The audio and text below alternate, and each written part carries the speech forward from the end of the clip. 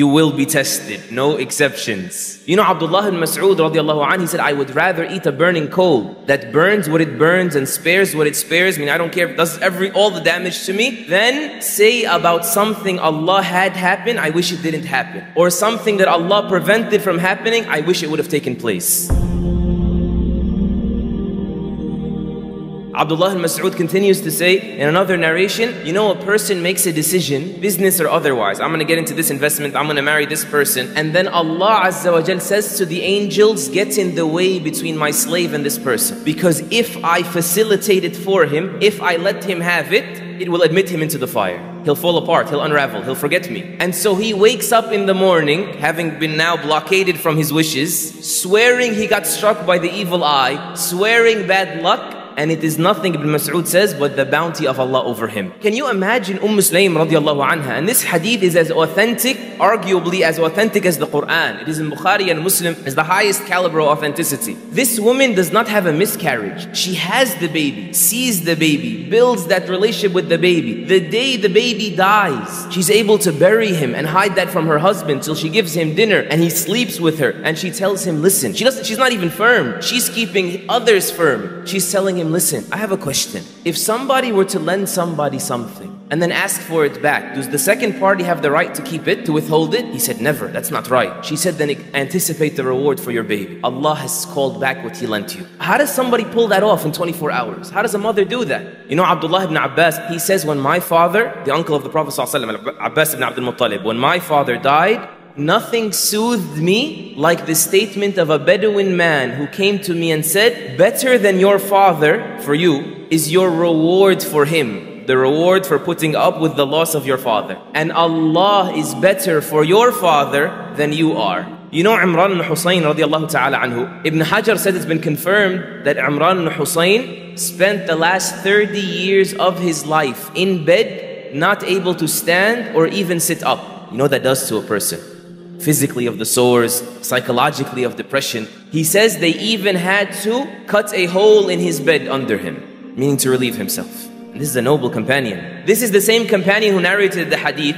understandably, when the Messenger said, Pray standing if you can't, and sitting, and if you can't, then on your side. Imran is the one that narrated it. It applies to him and whoever is like him. Mutarrif and Al Ala, two great scholars of the early Muslims, they said, we entered when we saw, when we saw Imran ibn Husayn, may Allah be pleased with him, we began to cry. And he told us, why are you crying? They said, like, we feel bad for you. Long time, man. We feel bad for your condition. He said, I will tell you something, but don't disclose it to anyone so long as I'm alive.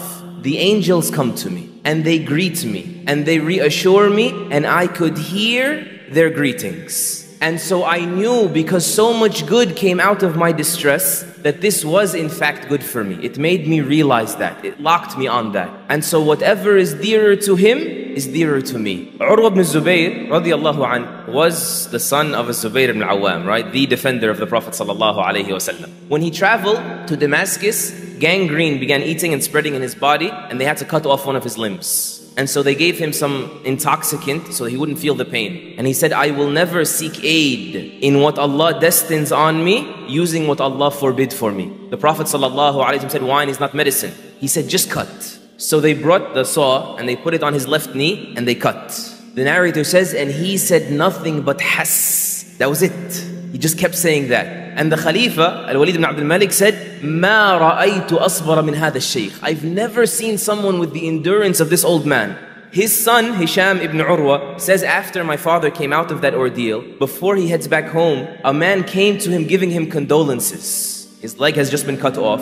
They put it in a basin to bury it. And he says to his leg, You know, you know that I never used you to walk to the disobedience of Allah. Look what a mindset. And then this man comes to give him condolences in that moment. And he says to him, Listen, if you're coming to feel sorry for me, I'm already awaiting the reward for this from Allah. I mean, don't mess with my head. Leave me alone. Don't feel bad for me. I don't feel bad. He said, I'm not coming about your leg. I'm coming about your son, Muhammad. He said, What about him? He said, He fell into the stable, your stable at home, or where your horses were, and the horses tramped on him him and they killed him. And he said, Oh Allah, you've given me four limbs and only taken away one. and you've given me seven children or nine children, and you've only taken away one. You know that, that the day you have problems, you have so many more days when things were going your way. And that the fact that we only remember the day of our problems is a skewed perspective that means that the heart was polluted. It's not the reality. Who's able to fix that for you? The way he fixed it for Al Zubayr was able to get him to look with that kind of perspective. It was his commitment to Allah, the nearness of his heart to Allah. That is the only thing that can make you unbreakable. The Prophet ﷺ, he told us, من يريد الله به خيرا يصب منه أو يصب منه in another narration. So be patient and seek your patience through Allah and know that when Allah wishes well for a person, He afflicts him and He allows others to, meaning He gives people access to you. People are going to betray you, disappoint you, get the upper hand at times on you, or something beyond people, and a natural occurrence as they call it nowadays, right? These things will continue to happen whenever Allah loves a person. You know why? Because the person is either going to have his levels raised because of this, or he will have his sins forgiven because of this, and those are both good.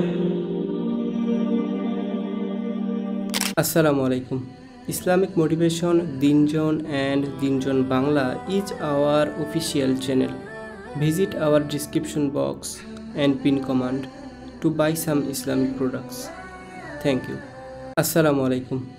Islamic Motivation Deen Zone and Deen Zone Bangla is our official channel. Visit our description box and pin command to buy some Islamic products. Thank you. Assalamu alaikum. Islamic Motivation Deen Zone and Deen Zone Bangla is our official channel. Visit our description box and pin command to buy some Islamic products. Thank you. Assalamu alaikum. Islamic Motivation Deen Zone and Deen Zone Bangla is our official channel. Visit our description box and pin command to buy some Islamic products. Thank you.